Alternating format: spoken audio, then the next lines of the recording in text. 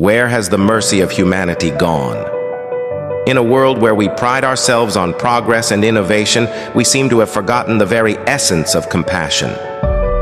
Our homeless population is growing at an alarming rate. Men, women, and children who once had homes, dreams, and hopes now struggle to survive on the streets. They are not just statistics, they are human beings, each with a story of hardship and loss. Some of them are truly struggling, battling mental illness, addiction, or simply the bad luck of life circumstances.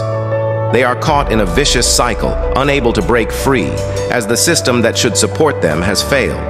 Many are willing to work, eager to regain their dignity and stability, but they face insurmountable barriers. Job applications go unanswered, and opportunities remain out of reach. They are judged not by their potential, but by their current state of despair. And then there are those who despise them, who see only the surface and not the depth of their struggles. They turn a blind eye, forgetting that a lack of empathy perpetuates this cycle of suffering. But amidst the darkness, there are glimmers of hope. People who extend a hand, who offer not just charity, but compassion and understanding. They remind us that humanity's mercy is not entirely lost, it just needs to be rekindled. Let us not forget our shared humanity.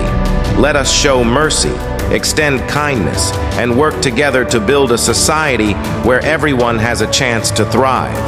For in the end, our true progress will be measured not by our wealth, but by our compassion.